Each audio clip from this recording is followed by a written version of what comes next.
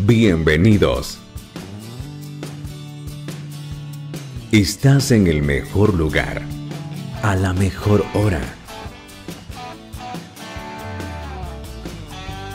No hay nada como iniciar el día de la mano de Dios. Esto es la oración de la mañana.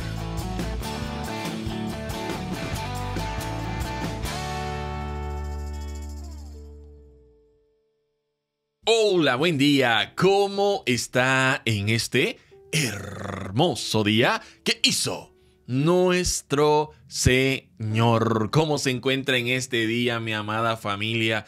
Qué bendición es tener la disposición en nuestro corazón para poder estar acá y alimentarnos espiritualmente. Usted eligió estar en el mejor lugar a la mejor hora porque no hay nada más lindo, más hermoso, más precioso que comenzar nuestro día de la mano de nuestro Señor. Soy Enrique Monterrosa desde El Salvador y esto es la oración de la mañana. Aún en el desierto, Dios no se olvidará de ti. Hay momentos en los que nos toca atravesar desiertos. Llámese desiertos a aquellos periodos de tiempo en los que parece que nos encontramos solos, donde parece que estamos caminando sin ningún rumbo, donde aparecen diferentes situaciones o circunstancias que nos hacen más difícil el caminar, pero que a pesar de todo eso seguimos ahí caminando, dando pequeños pasos, pero avanzando. Todos hemos pasado por momentos de desierto en nuestra vida. Llámese desierto a la dificultad, a la adversidad, al problema, a la situación difícil que le ha tocado enfrentar en las diferentes áreas de su vida que le haya tocado enfrentar. Lo cierto es que a través de esos desiertos en muchas ocasiones tendemos a creer que Dios nos ha dejado solos. Sobre todo cuando los problemas se acrecentan, sobre todo cuando nuevas dificultades aparecen, sobre todo cuando vemos que de repente alguien está haciendo una injusticia con nosotros y nos sentimos por alguna razón desamparados al ver que situaciones como esas están sucediendo en nuestra vida. Sin embargo, déjame decirte de que Dios no se olvida de ti aún en el desierto. Cuando nuestro Dios sacó al pueblo de Israel de Egipto, ellos comenzaron a andar hacia la tierra prometida. Pero una de las primeras cosas que las personas comenzaron a quejarse era que pues en el desierto no había el alimento que sí tenían en Egipto. La gente comenzó a murmurar, imagínense, estamos hablando de personas que eran esclavas en Egipto que estaban siendo maltratados en Egipto, que clamaron a Dios pidiéndole ayuda. Y Dios les mandó a Moisés y Dios usó a Moisés para que por medio de él el faraón accediera a dejarlos ir libres. De ser esclavo ahora a ser libres. Pero parece que estas personas tenían mente de esclavo. Estaban tan acostumbrados a la esclavitud, estaban tan acostumbrados al menosprecio, al castigo, que comenzaron a añorar lo que tenían allá cuando eran esclavos. La gente comenzó a reclamar, la gente comenzó a decirle a Dios que para qué nos había sacado acá. ¿Para qué nos trajo al desierto? ¿Para qué nos trajo? ¿Para matarnos acá en el desierto? Acá no tenemos comida, acá no tenemos nada. Allá en Egipto había carne y teníamos pan hasta de sobra. Se atrevieron a decir que tenían carne y pan de sobra, que podían comer todo lo que ellos querían, pero que ahí en el desierto no había absolutamente nada, que Dios los había sacado ahí para matarlos de hambre en el desierto. A veces cuando estamos atravesando desiertos en nuestra vida nos dan ganas de reclamar, cuando de verdad no, tendremos, no tendríamos nada que reclamar. Dios nos ha sacado de una esclavitud del pecado. Dios nos sacó de una vida sin sentido y nos puso en una vida con sentido, una vida con propósito.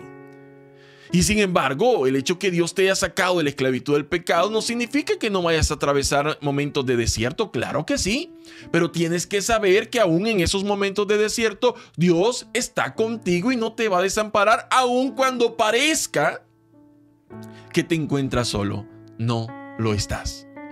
El pueblo de Israel comenzó a quejarse, a decir de que Dios los había sacado para matarlos en el desierto.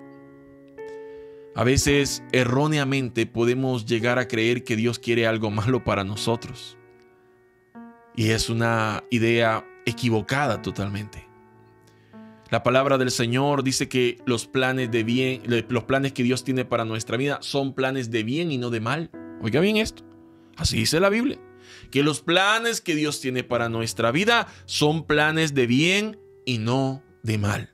Sin embargo, por el fuerte eh, momento o por las diferentes emociones que produce el desierto, a veces nos atrevemos a decir o a pensar de que Dios tiene algo contra nosotros, de que para qué estamos acá, que estábamos mejor antes cuando no es cierto. Porque antes eras esclavo del pecado, porque antes no tenías la vida eterna que hoy el Señor te ha otorgado a través del perdón de los pecados.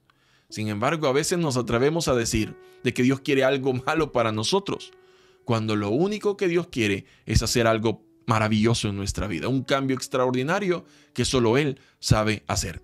Así que aquí está, el pueblo de Israel en Egipto, después de ser liberado, quejándose de Dios, reclamando de que por qué acá no tienen nada que comer. ¿Y qué pasó entonces? Bueno, Vámonos a la palabra del Señor, a Éxodo capítulo 16. Voy a leer desde el versículo 9 en adelante para poder comprender un poquito. La gente se estaba quejando. Y sí, y la palabra del Señor dice, estoy utilizando en esta ocasión la versión de la Biblia, Reina Valera de 1960. Dice Éxodo 16, 9. Y dijo Moisés a Aarón, di a toda la congregación de los hijos de Israel, acercaos a la presencia de Jehová, porque él ha oído vuestras murmuraciones. Versículo 10. Y hablando a Aarón, a toda la congregación de los hijos de Israel, miraron hacia el desierto y aquí la gloria de Jehová apareció en la nube. Oiga bien esto, miraron hacia el desierto y he aquí que la gloria de Jehová apareció en en la nube. Versículo 11. Y Jehová habló a Moisés diciendo, yo he oído las murmuraciones de los hijos de Israel. Háblale diciendo, al caer la tarde comeréis carne y por la mañana os saciaréis de pan y sabréis que yo soy Jehová vuestro Dios. Oiga esta palabra, esta última frase, el Señor dice, y sabréis que yo soy Jehová vuestro Dios. Aleluya, qué hermosa palabra, ¿no? La gente se estaba quejando porque ahí no tenían pan, porque ahí no había carne, porque en el desierto no produce nada. Estaban ahí diciendo que para qué los habían sacado, que estaban mejor allá porque allá comían carne y pan cuando ellos querían. Sin embargo, el Señor se aparece con su gloria maravillosa a través de una nube. Le habla a Moisés y le dice que el día de mañana comeréis carne y os saciaréis de pan. Y entonces sabréis que yo soy Jehová vuestro Dios. A veces se te olvida que Dios es tu Dios, que Él cuida de ti aún en el desierto. Posiblemente entre nosotros hayan personas que hoy estén atravesando un desierto. Un desierto en el área familiar, un desierto quizá en tus finanzas, un desierto a lo mejor en cuanto a tu salud, porque no mejoras por más que oras, por más que vas al médico, no pasa nada. Y tal vez te encuentras en ese desierto pensando que a lo mejor Dios te ha dado la espalda, a lo mejor Dios se olvidó de ti, que a lo mejor Dios piensa que tú no eres digno de una respuesta. Sin embargo, déjame decirte y déjame aclararte algo. Si Dios te saca de Egipto y te lleva al desierto, es porque Él estará ahí contigo. Y si Él nota que tienes una necesidad, Él la va a suplir. Si quieres comer carne, Él te dará carne. Si quieres comer pan, Él te dará pan. Si quieres sombra, su nube te cubrirá. Si tienes frío, su columna de fuego te dará calor. Pero Él no te va a dejar. Dios no te sacó de Egipto para dejarte solo en el desierto. Dios no te sacó de una esclavitud para dejarte morir en el desierto. Dios está ahí contigo. Dios está ahí contigo porque Él es tu Dios.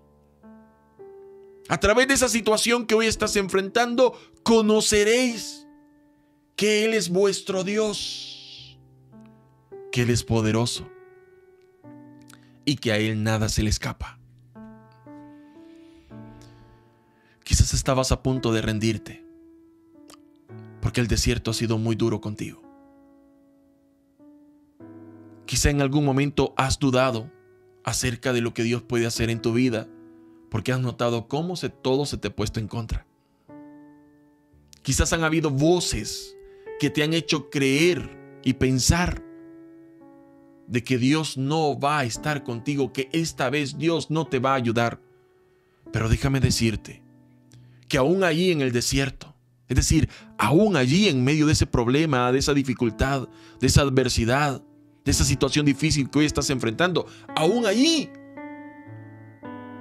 Dios no te dejará solo. Él estará contigo. Te sacará adelante. Y si es necesario proveerte, te proveerá. Y si es necesario sanarte, te sanará. Y si es necesario levantar tu cabeza, la levantará. Y si es necesario usarte, lo hará. Él manifestará su gloria en tu vida porque Él no te abandona. Porque Él no te deja solo. Tú no estás sola. Tú no estás solo. Dios sigue estando contigo aún en el desierto. Lo que en este momento estás pasando pronto terminará. Y tú serás testigo y testiga de la gloria de Dios en tu vida. Aquellos que en un momento determinado, dudaron, a través de lo que Dios va a hacer, confirmarán que Él siempre estuvo con ustedes. Y terminarán diciéndole, Señor, perdóname por haber dudado de que tú estabas conmigo. Dios no se olvidará de ti, porque Dios nunca se olvida de aquellos a quien Él llama. Y Dios te ha llamado. Tú has sido llamado por Dios.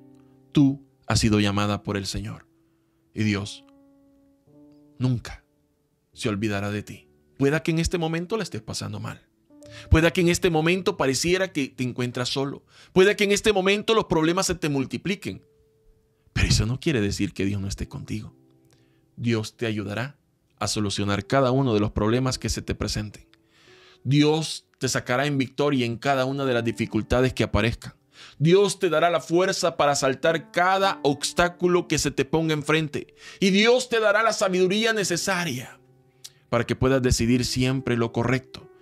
Eso que te llevará a recibir el respaldo de Dios.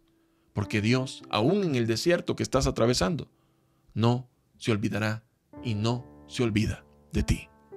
¿Por qué no oramos en esta hora? Padre, amado, te doy gracias, Señor, por este tiempo y porque sabemos que tú no te olvidas de nosotros. Aún en el desierto nos darás alimento, nos darás protección, nos darás, Señor, lo necesario. Tu presencia, Señor, estará con nosotros cuidándonos y defendiéndonos. Padre, en esta hora, hoy quiero orar especialmente por aquellos que están en medio de un desierto, especialmente por aquellos que se han sentido solos, abandonados o han sentido cómo los problemas se les han multiplicado. Hoy oro por cada una de esas personas, Señor, para que tu presencia los abrace, para que tu presencia los ministre, para que tu presencia los toque, para que les haga sentir, Señor, de que tú estás con ellos y no los vas a abandonar, porque tú nunca te olvidas de tus hijos, porque tú nunca te olvidas de tus hijas, Señor. En esta hora, Oro para que el ánimo sea devuelto a aquellos que se encontraban desanimados, aquellos que estaban pensando en rendirse, hoy sus fuerzas sean multiplicadas, aquellos que creían que no iban a poder salir adelante, hoy tengan la convicción firme, la fe, la confianza de que saldrán adelante porque con la ayuda tuya, Señor, todo es posible. Dios mío, oro por aquellos que están enfermos para que tú los puedas sanar. Toca esos cuerpos, Señor. Restaura esa salud. Oro por aquellos matrimonios que el enemigo ha querido dividir para que tú los puedas unir, para que haya, Señor, esa capacidad de perdonar, esa capacidad de entenderse mutuamente, esa capacidad de amarse, Señor, esa capacidad de tener misericordia. Dios mío, en el nombre de Jesús, restaura matrimonios, restaura familias, que aquellos que aún no te conocen te puedan conocer. Toca los corazones de aquellos familiares nuestros que todavía no te conocen, Señor. Toca ese corazón y llámalos con cuerdas de amor. Oro, Dios mío, por aquellos que necesitan un empleo, para que tú les puedas abrir puertas, para que les puedas otorgar un empleo. Oro, Dios mío, por aquellos que no han podido descansar, no han podido dormir, que están, Señor, en depresión, que tienen ansiedad, que tienen, Señor, ataques de pánico quizá. En esta hora, Dios mío, te pido que puedas enviar una paz sobrenatural sobre sus vidas que todo temor, que todo miedo desaparezca de sus vidas y que tengan, Señor, a cambio la confianza suficiente para saber y estar con la certeza de que tú, Señor, tienes el control de sus vidas. Oro por aquellos que tienen peticiones especiales, Señor, para que tú puedas escuchar su petición. Examina ese corazón, Señor, y conforme a la fe de cada uno, así seas tú también dando respuestas. Gracias, Señor. Gracias porque sé que nos escuchas, porque sé que nos respondes y porque sé que harás algo en medio de tu pueblo, porque tú nunca te olvidas de nosotros. Todo te lo he pedido en esta hora, Señor, en el nombre de Cristo Jesús. Amén. Y amén.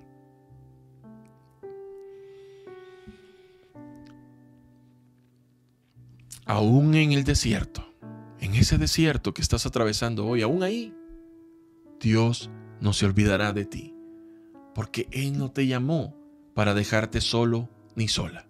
Él te llamó para estar contigo en cada momento de tu vida y has de ver la gloria de Dios en tu vida a través de lo que Él va a hacer, porque Dios hará algo. Créelo. Soy Enrique Monterrosa desde El Salvador y esto ha sido la oración de la mañana. Que Dios bendiga tu vida y que Dios bendiga la vida de los tuyos. ¿Fue de bendición para tu vida este video? Entonces, coméntanos tu experiencia, dale me gusta y comparte este video con tus amigos. No te vayas sin suscribirte al canal y activar la campanita para enterarte de cuando subimos nuevos videos. Que Dios derrame muchas bendiciones sobre tu vida y sobre los tuyos. Saludos desde El Salvador.